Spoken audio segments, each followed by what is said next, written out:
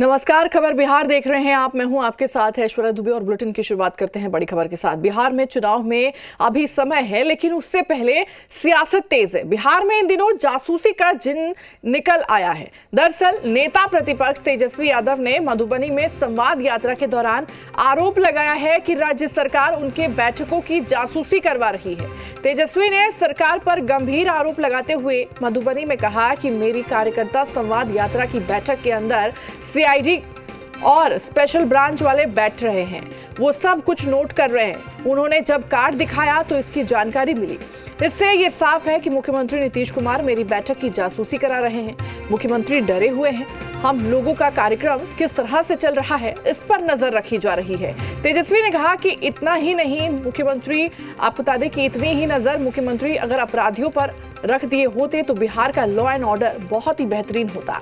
तेजस्वी के इस आरोप के बाद बिहार में सियासत तेज हो गई है। आपको तमाम बयान सुनाएँगे, लेकिन उससे पहले सुनिए तेजस्वी यादव ने क्या कुछ कहा है। ये पार्टी की इंटरनल बैठक। है लेकिन कुछ लोग जो है, हिलने का नाम नहीं ले रहे थे। बाद में पता चला कि वो स्पेशल ब्रांच और सीआईडी के लोग हैं। कार्ड उन्होंने दिखाया बकायदा।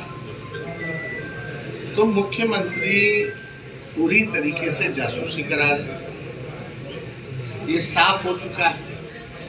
भयभीत है, डरे हुए हैं कि किस प्रकार से हम लोगों का कार्यक्रम जो है चल रहा है। नज़र रखी जा रही है। इतना ही नज़र अपराधियों पर रख देते मुख्यमंत्री जी। तो आज बिहार का लॉ एंड ऑर्डर जो है बहुत ही बेहतरीन है।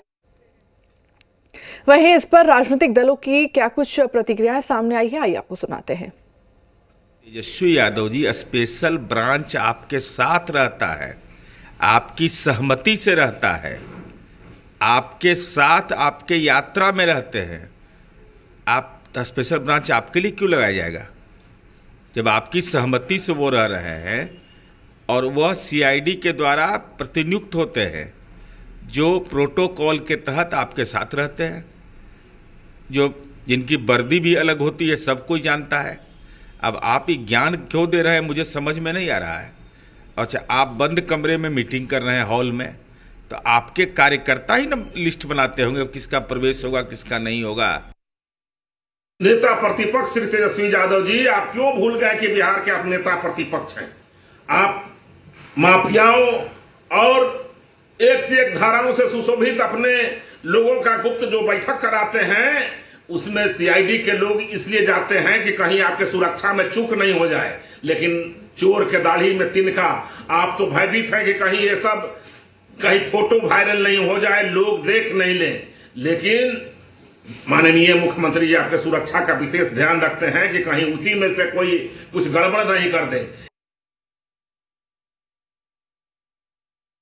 ये देखिए, केंद्र सरकार और राज्य सरकार दोनों का ये है कि जब वो कमज़ोर स्थिति में होती है, खास करके भी जैसे यहाँ नीतीश कुमार जी और दिल्ली में मोदी जी दिल्ली में मोदी जी ईडी सीबीआई और इनकम टैक्स को आगे कर रहे हैं और यहाँ ये जो है क्राइम ब्रांच और इन लोगों को आगे कर रहे हैं। इसका कारण ये है कि अंदर से घबराहट है, अंदर से उनको कुर्सी जाने की चिंता है, जो कि अगला विधानसभा चुनाव तय कर देगा। परिस्थिति ये आ गई है। कितना भी कुछ कर लें, समय बदल चुका है, जनता इनको समझ चुकी है, इनके जो छल है प्रपंच को उसको समझ चुकी है, इसका अंत होना तय है। और ज़्यादा जानकारी के साथ जी मीडिया संवाददाता सनी हमारे साथ जुड़ चुके हैं। सनी का रुख करते हैं। सनी, नेता प्रतिपक्ष तेजस्वी यादव ने सीएम पर एक बड़ा आरोप लगाया है और निशाना साधते हुए कहा कि उनकी बैठकों पर सीएम नज़र रख रहे हैं, उनके कार्यक्रम पर सीएम नज़र रख रहे हैं। कितनी सच्चाई देखते हैं आप इन बातों में? जी बिल्कुल, तेजस्वी यादव ने जो आरोप लगाया है और ख़ास तौर पर सीआईडी और स्पेशल ब्रांच के लोगों का ज़िक्र किया है, तेजस्वी ने यह भी ज़िक्र किया है कि निश्चित तौर पर कार्यक्रम से पहले पत्रकार भी वहाँ मौजूद रहते हैं तो वो लोग चले जाते हैं। लेकिन कुछ लोग रहते हैं जो नोट करते रहते हैं। निश्चित तौर पर अब इसको लेकर बिहार में सियासत तेज हो गई है और सत्ताधारी दल के जो लोग हैं, उन्होंने स्पष्ट किया है कि ये तो सुरक्षा का मामला है, ये प्रोटोकॉल है। और प्रोटोकॉल के हिसाब से अधिकारी वहाँ रहते हैं। कोई भी मंत्री, विधायक या संवैधानिक पद पर जो लोग होते हैं, उनके साथ रहते हैं ताकि सुरक्षा में चूक न हो जाए। और ऐसे में राष्ट्रीय जनता दल और कांग्रेस को एक मौका मिला और निश्चित तौर पर कांग्रेस ने भी बिहार सरकार के बहाने केंद्र सरकार पर हमला बोला और कहा कि ईडी ईडी सीबीआई और इनकम टैक्स जैसी एजेंसियों का केंद्र सरकार दुरुपयोग कर रही है और बिहार में नीतीश कुमार स्पेशल ब्रांच और सीआईडी का दुरुपयोग कर रहे हैं।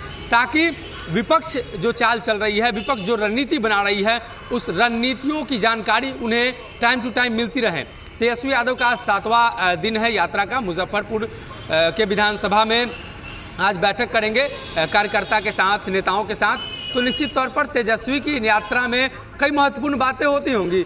किस तरीके से पार्टी को आगे बढ़ाया जाए पार्टी के अंदर किस तरीके का मतभेद है, एक ही क्षेत्र में नेताओं के टकराव की वजह से पार्टी को खामियाजा न भुगतना पड़े, उन तमाम बिंदुओं पर चर्चा की जाती है। पार्टी में कौन से नए कार्यकर्ता जुट रहे हैं, पार्टी के कौन से लोग नाराज़ हैं तो इन बिंदुओं पर तेजस्वी यादव गहन मंथन कर रहे हैं, लेकिन निश्चित तौर पर अब ये जो कहीं ना कहीं मामला है, राजनीतिक माहौल, राजनीतिक मामला बन चुका है और निश्चित तौर पर जाँच एजेंसियों पर एक बड़ा आरोप लगाया गया है। मुख्यमंत्री नीतीश कुमार पर आरोप लगाया गया है कि नीतीश कुमार इस तरीके का जाँच एजेंसियों का दुरुपयोग कर रहे हैं ताकि आने वाले दिनों में राष्ट्रीय जनता दल की रणनीतियों का पता लगाया जा सके।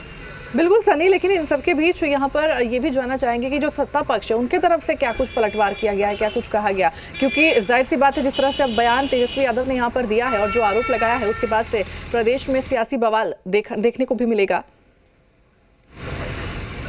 जी बिल्कुल सत्ता पक्ष ने तो स्पष्ट कर दिया है कि ये प्रोटोकॉल का मामला है और आपके बिना परमिशन के वो जा नहीं सकते हैं। आपने उन्हें परमिशन दिया है तभी वो उस हॉल में जाते हैं आपके परमिशन से आपके वो साथ हैं और निश्चित तौर पर जब भी कोई कार्यक्रम होता है तो वहाँ लिस्ट बनता है कि कौन कौन से लोग होंगे उस हॉल में जाएँगे किस विधानसभा के क्षेत्र के लोग हैं। तो लोगों की संख्या चिन्हित की जाती है लोग चिन्हित किए जाते हैं कि कौन कौन से लोग जाएँगे।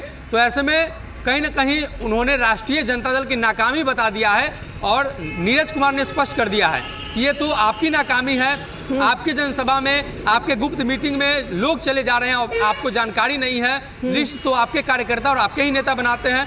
तो निश्चित तौर पर ये प्रोटोकॉल का हवाला दिया गया है और कहीं ना कहीं प्रोटोकॉल भी यही कहता है कि जिस तरीके से आपके साथ सुरक्षा में जो जवान तैनात है उनकी ज़िम्मेदारी बनती है कि कहीं भी अगर कार्यक्रम हो रहा है और आपके खिलाफ अगर कोई षड्यंत्र हो रहा है आपकी जान को खतरा है या आपकी सुरक्षा कैसे मज़बूत की जाए इसको लेकर वो लोग अलग अलग तरीके से सुरक्षा व्यवस्था का लेयर तैयार करते हैं और वो लोग लगातार उनके साथ रहते हैं ताकि सुरक्षा में किसी तरह की चूक ना हो जाए। ठीक है सर, नहीं, तमाम जानकारी साझा करने के लिए और जुड़ने के लिए आपका बहुत बहुत धन्यवाद। महत्वपूर्ण जानकारी अपने दर्शकों तक पहुँचा रहे हैं। किस तरह से नेता प्रतिपक्ष तेजस्वी यादव ने सीएम पर एक बड़ा आरोप यहाँ पर लगाया है, उन्होंने तेजस्वी यादव ने कहा है कि हमारे कार्यकर्ताओं की जासूसी करवाते हैं सीएम सीएम डरे हुए हैं। अगर इतना ध्यान बिहार में बढ़ते अपराध पर देंगे तो लॉ एंड ऑर्डर सुधर जाएगा।